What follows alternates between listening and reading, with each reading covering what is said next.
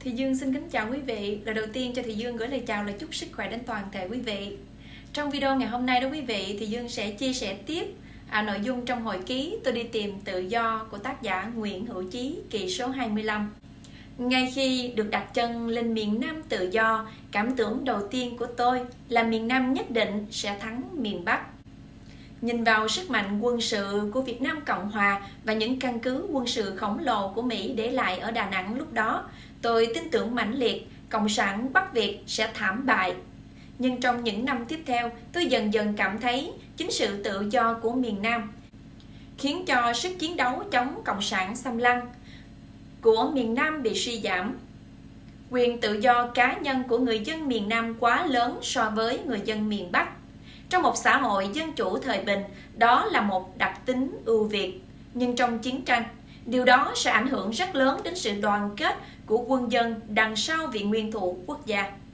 Đúng ra, nếu đem so sánh đời sống tinh thần, vật chất, tính nhân bản cùng những giá trị văn hóa của người dân hai miền Nam Bắc, nhiều người đã có lý khi cho rằng trong cuộc chiến tranh Việt Nam, thà thua trận mà được làm người dân miền Nam, còn sung sướng hạnh phúc hơn là thắng trận mà phải làm người dân miền Bắc.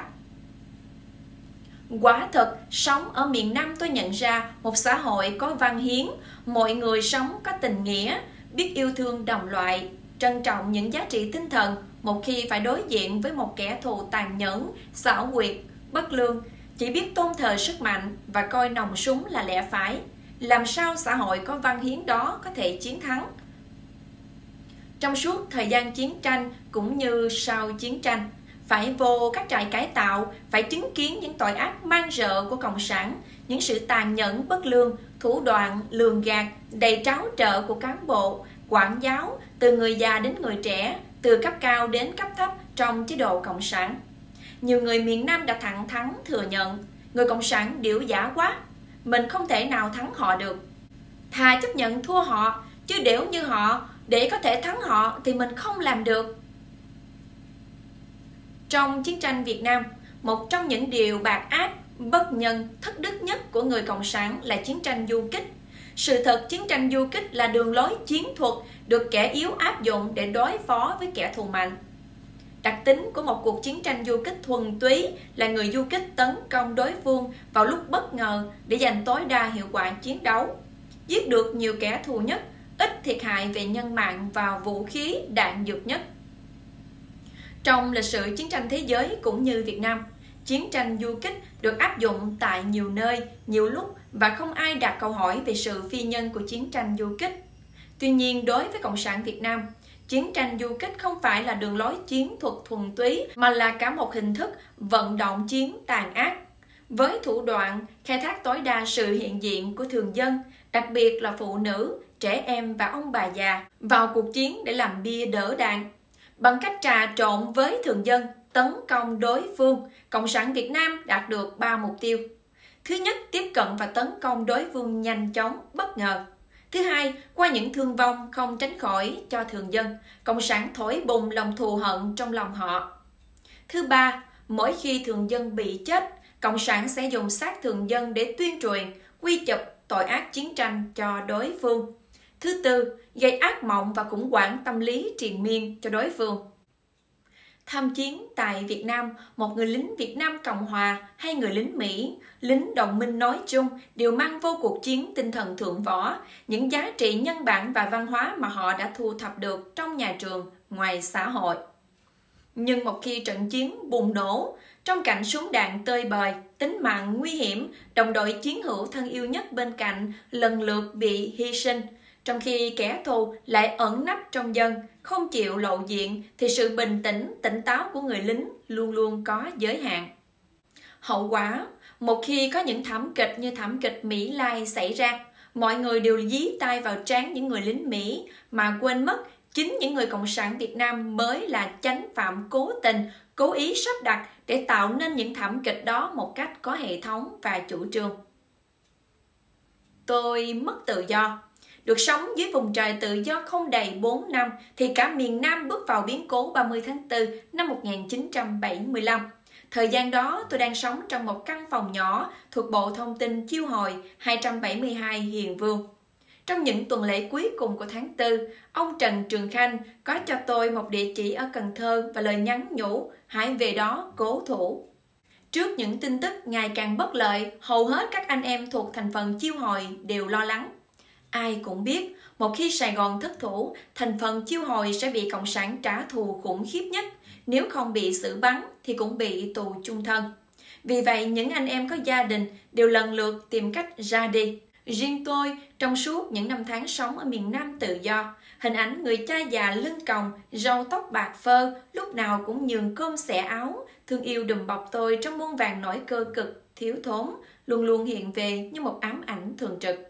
Cùng với hình ảnh người cha già, tôi còn không biết bao nhiêu niềm ân hận, nỗi xót xa về những tội lỗi của tôi khi tôi đối xử với cha tôi như một người địa chủ tàn ác với nông dân.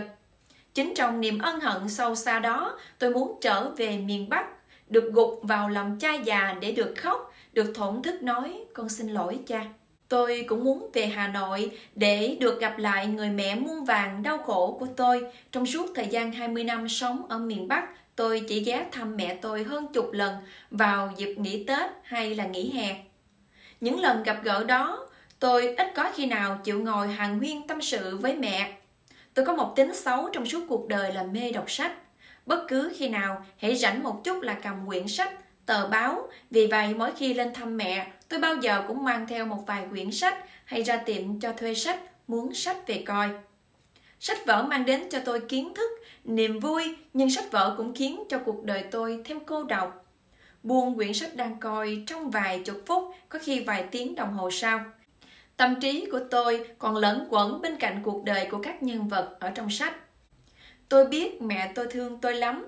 Tôi cũng thương mẹ tôi vô cùng vì tôi biết trong thâm tâm mẹ tôi vẫn buồn buồn với mặc cảm lỗi lầm. Đã đẻ tôi ra mà không chịu nuôi tôi. Qua câu chuyện của thầy tôi sau này, tôi hiểu mẹ tôi không hề có lỗi gì.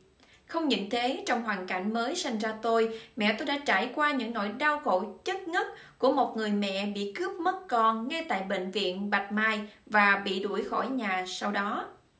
Thời gian sau này, sau khi được gặp lại mẹ, tôi có ghé thăm mẹ, có cùng mẹ đi chùa và về quê ngoại ở núi đồi đẹp ngay cạnh sông Châu. Trong những lần đó tôi vừa muốn nũng nịu để được mẹ nuông chiều, lại vừa ngại ngùng, xa cách. Một người con trai 15-16 tuổi, xa mẹ suốt cả thời gian 15-16 năm. Làm sao có thể ôm ấp mẹ một cách thân mật, đầm thắm trong tình mẫu tử như mẹ con của những người khác. Ngày xưa, khi sống gần mẹ lúc tôi chưa đầy 20, nên còn nghe thơ, ham vui và cư xử thiếu suy nghĩ. Nhưng trong những năm tháng được sống ở miền Nam, qua sách vở, phim ảnh và tình người, tâm hồn tôi được bồi đắp. Tình cảm tôi được vui sới, nên dần dần tôi nhận ra những tình cảm thiên liêng con người cần phải ấp ủ. Trong đó có tình mẹ con, tình cha con. Tôi biết trên chặng đường trở về Bắc, tôi sẽ đối diện với rất nhiều nguy hiểm. Nhưng tôi sẵn sàng chấp nhận tất cả để đánh đổi những giây phút hạnh phúc được gặp cha, gặp mẹ Tại trung tâm Hiền Vương lúc đó có anh bạn cũng chiêu hồi, lái xe cho ông Bùi Công Tương, chánh sở tuyên vận. Chiều 28 ngày 29 tháng 4 năm 1975, tôi không nhớ rõ. Anh ghé phòng tôi, rủ tôi ra bến Bạch Đằng để tìm được đi. Tôi từ chối nhưng không nói rõ lý do tôi sẽ về Bắc. Sau đó anh về phòng của anh mang sang cho tôi một bọc tiền. Không hiểu anh lấy từ đâu ngay chiều hôm đó chúng tôi chia tay. Từ đó đến nay tôi không nghe được tin tức gì về anh cả. Hai hôm trước đó, chị Tuyên cũng là xuống ngôn viên cho bộ chiêu hồi. Có ghé thăm tôi và dục tôi tìm đường đi. Đừng dại dột ở lại mà để Cộng sản bắt đó. Trước đó ngày 25, anh Hải, người Hải Dương làm cho hội từ thiện Hoàng Cầu Khải Tượng cũng đến nhà ông anh rể ở võ Duy Nghi Phú Nhuận rủ tôi đi. Nhưng tôi từ chối với anh Hải, tôi nói thật ý định sẽ về miền Bắc của mình. Vì sống với Cộng sản 20 năm quá đủ để tôi hiểu về con người cùng chế độ Cộng sản. Vì vậy, ngay khi Cộng sản chiếm đóng Sài Gòn ngày 30 tháng 4 năm 1975, thì ngày 3 tháng 5 năm 1975, tôi lên đường trở lại miền Bắc cùng với người bạn tên Bình. Để có thể qua mặt các trạm kiểm soát trên đường về Bắc, cả hai chúng tôi đều đóng vai bộ đội với đầy đủ quân phục, nón cối, dép râu và giấy tờ. Tất cả những thứ này do Bình mua lại từ một tay bộ đội thuộc loại lao công đào binh gốc Hải Phòng. Sài Gòn lúc đó tuy vừa trải qua cơn ác mộng binh lửa do người Cộng sản mang lại, nhưng cùng với viễn cảnh đất nước từ nay không còn chiến tranh, nên người dân Sài Gòn vẫn còn rất thích giúp đỡ bộ đội. Thêm vào đó, trong những ngày đầu tiên mới đặt chân lên đường phố Sài Gòn, những người bộ đội vẫn còn ngây ngô, ngốc nghếch trước những tòa cao ốc, những đường phố nhộn nhịp xe cộ và đời sống sầm uất của Sài Gòn. Vì vậy, trong bộ quần áo bộ đội, với kinh nghiệm và vốn sống của những người đã sống ở Sài Gòn mấy năm, chúng tôi dễ dàng qua mắt tất cả những người bộ đội của đoàn quân viễn chinh Cộng sản miền Bắc.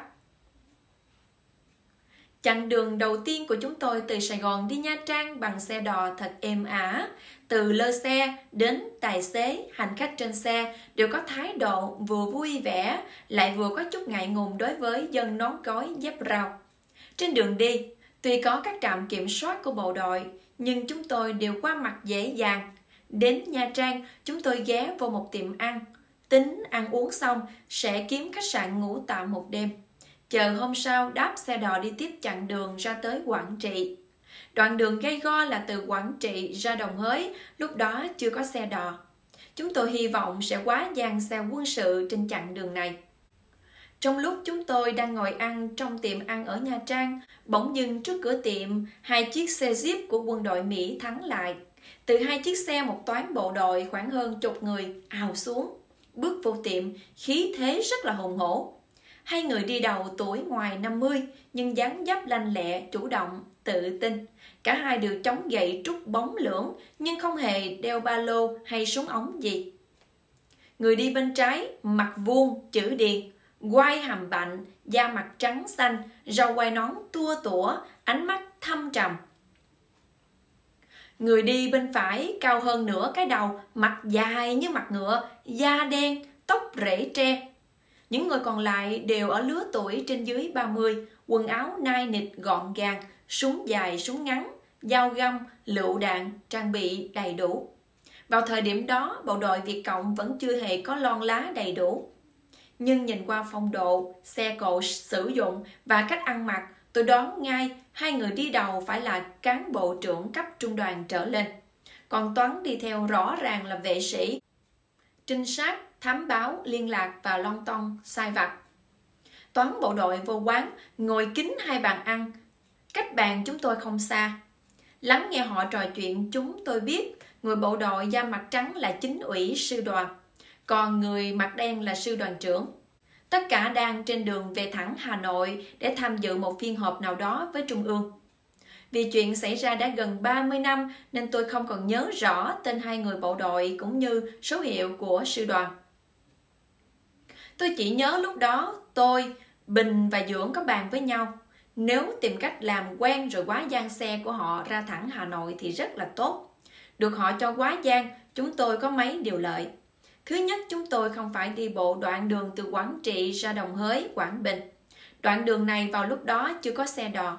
Vì Việt Cộng mới chiếm được miền Nam nên khu này vẫn còn hoang vu, tiêu điều vô cùng. Lợi thứ hai là không phải tốn tiền xe đò, xe lửa.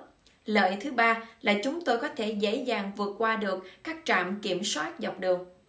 Tuy chúng tôi lúc đó ai cũng có giấy tờ đầy đủ, nhưng tất cả đều là giấy tờ giả mà đã giả thì luôn luôn có nguy cơ bị phát hiện bất cứ lúc nào. Sống trong chế độ cộng sản mấy chục năm, chúng tôi biết ngay cả những người có đầy đủ giấy tờ thật trong người. Họ vẫn có thể bất ngờ bị công an lôi cổ vô đồn, ngồi cả tuần lễ là chuyện thường tình, huống chi chúng tôi chỉ có giấy tờ giả. Sau khi bàn bạc, Bình đồng ý lôi ra mấy bao thuốc 3 số 5, rồi nhào sang làm quen thẳng với hai người bộ đội cấp trưởng. Đó là nước cờ táo bạo nhưng rất đúng. Vì chỉ có hai người cấp trưởng mới có thẩm quyền cho chúng tôi quá gian hay không. Bình, dân gốc Hà Nội, đẹp trai, tháo vát, tự tin, dễ hòa nhập với bất cứ ai trong bất cứ hoàn cảnh nào. Bình thường ba hoa đủ thứ thành tích mà Bình đã làm kể từ khi ra chiêu hồi. Nghe chuyện Bình kể tôi không tin lắm, nhưng phải thừa nhận là Bình đã từng được đi sang Đài Loan tham dự một đại hội chống cộng do chính Tổng thống thống chế tưởng giới thạch tổ chức. Năm đó là năm 1973 hay năm 1974 thì phải về.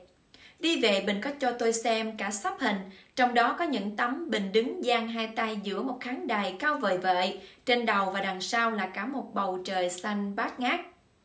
Ngồi bàn bên này nhìn sang, tôi thấy bộ điệu của Bình rất ăn khách, vì tuy không biết rõ Bình nói chuyện gì, nhưng chỉ nhìn bộ điệu say sưa hút thuốc ba số năm và say sưa há miệng ra nghe của hai người bộ đội cấp trưởng, tôi biết Bình có nhiều triển vọng thành công.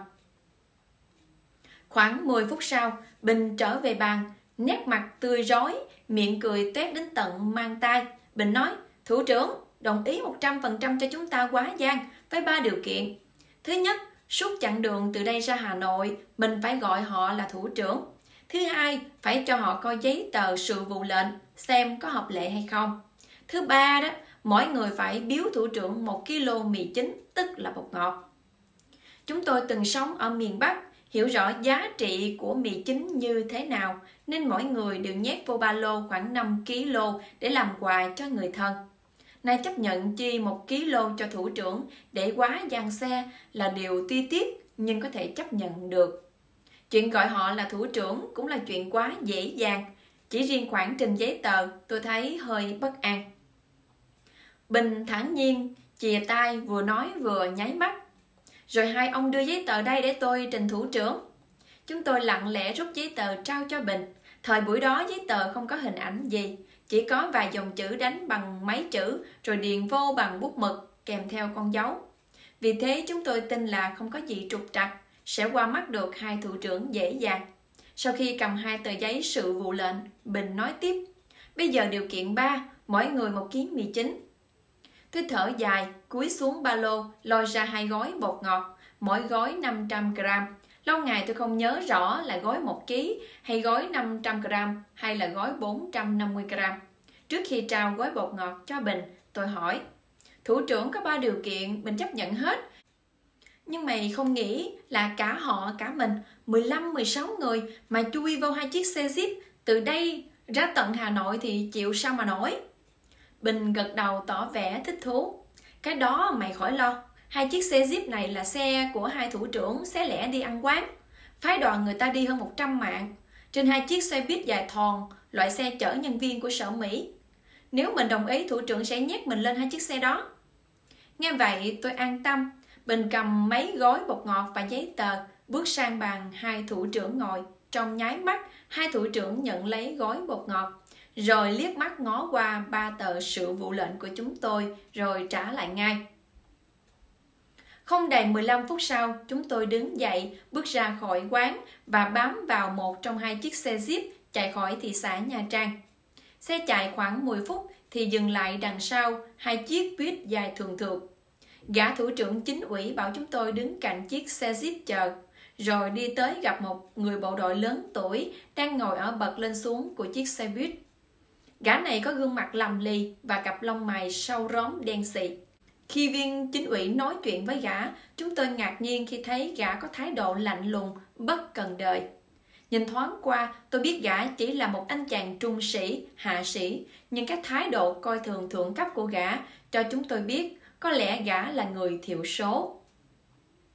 Viên chính ủy nói gì đó một hồi xong thì bước đi, gã sâu rớm uể oải đi lại chỗ chúng tôi, đứng rồi hỏi trống.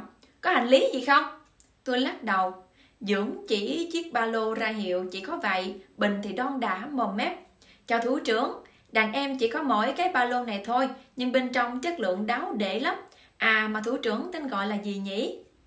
Gã sâu rống nhìn Bình trừng trừng vẻ không thân thiện ra mặt, khiến Bình cục hứng. Đàn ba hoa liền tịch ngồi, hết nói, gã sâu rống gầm gừ. Ai thủ trưởng với mày? Trước cặp mắt như thiêu như đốt của gã, cộng với lối ăn nói cục cằn, thô lỗ, toàn mày tao, Bình đứng im, không biết nói làm sao. Sau khoảng mấy chục giây im lìm, gã sâu rống quay lưng bước đi kèm theo một tiếng cọc lóc. Theo tao!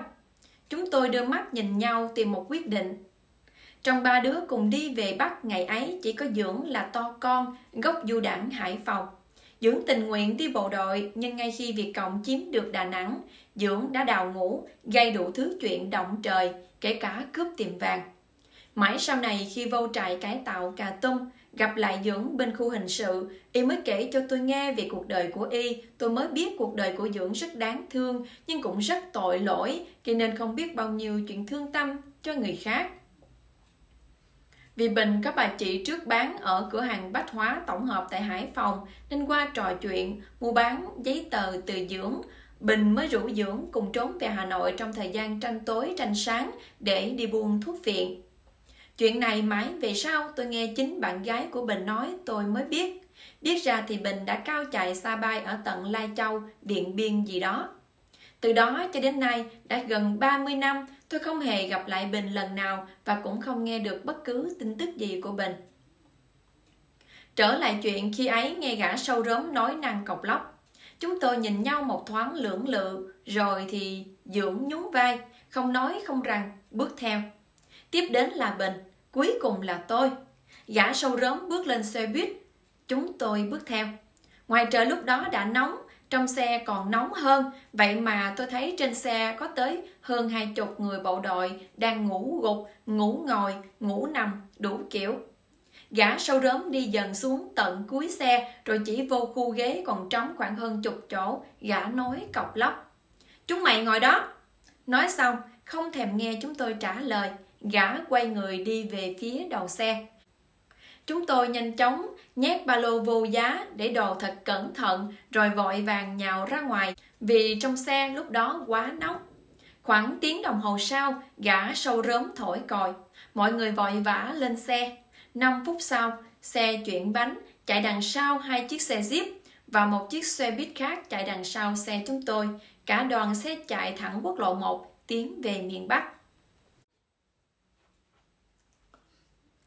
Kính thưa quý vị, nội dung vừa rồi đã kết thúc kỳ số 25 trong hồi ký tôi đi tìm tự do của tác giả Nguyễn Hữu Chí. Thì trong cái nội dung này quý vị có một cái đoạn làm thì dương ấn tượng đó là mì chính ha. Ông thủ trưởng mà nói là bây giờ muốn đi thì một trong ba điều kiện phải là đưa cho ông thủ trưởng một một ký mì chính là một ký bột ngọt. Thì đó chúng ta đã đủ thấy rằng đời sống của người dân miền Bắc thời đó rất là thiếu thốn, ngay cả bột ngọt mà không có và đó được xem như là một cái món quà rất là có giá trị, rất là ý nghĩa khi mà người ta đi từ miền Nam đi ra miền Bắc.